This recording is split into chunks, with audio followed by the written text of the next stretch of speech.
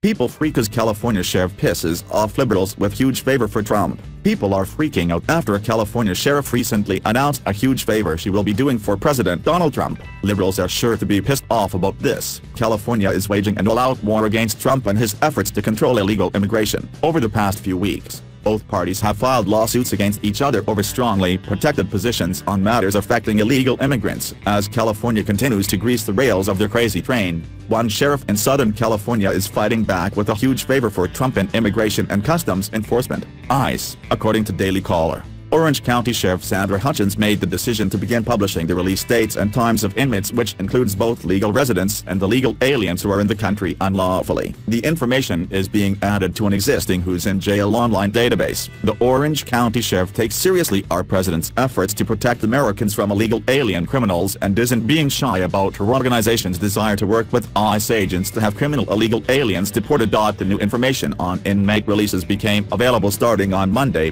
March 26, 2018. This bold decision is a slap in the face to the state's ultra-liberal leadership which notably decided to declare California a sanctuary state in 2017. I can just see liberal hacks like Governor Jerry Brown and California's Attorney General Xavier Becerra having a fit over the sheriff's decision. According to the Orange County Sheriff's Department, the policy change will help improve communication between local law enforcement and federal law enforcement. While many liberals are undoubtedly freaking out over the sheriff's decision, it didn't come without good reason or provocation from state officials. On October 5, 2017, the governor of California signed into law SB 54 and it became effective on January 1, 2018. The controversial legislation was designed specifically to interrupt cooperation between local law enforcement agencies and ICE for the purpose of protecting illegal aliens from deportation. Orange County Undersheriff Don Barnes spoke about Sheriff Sandra Hutchens' decision to counteract the state's sanctuary law. This is in response to SB 54 limiting our ability to communicate with federal authorities and our concern that criminals are being released to the street when there's another avenue to safeguard the community by handing them over to ICE for potential deportation, Barnes told the Orange County Register.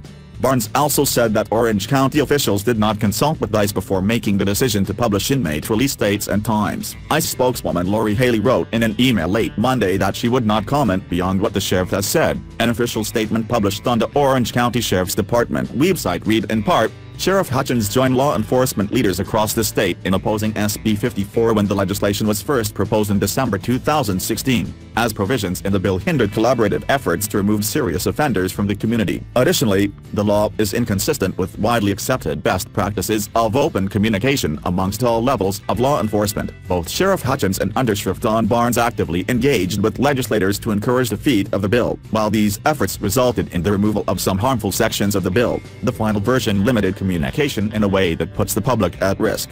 Source MadWorldNews.com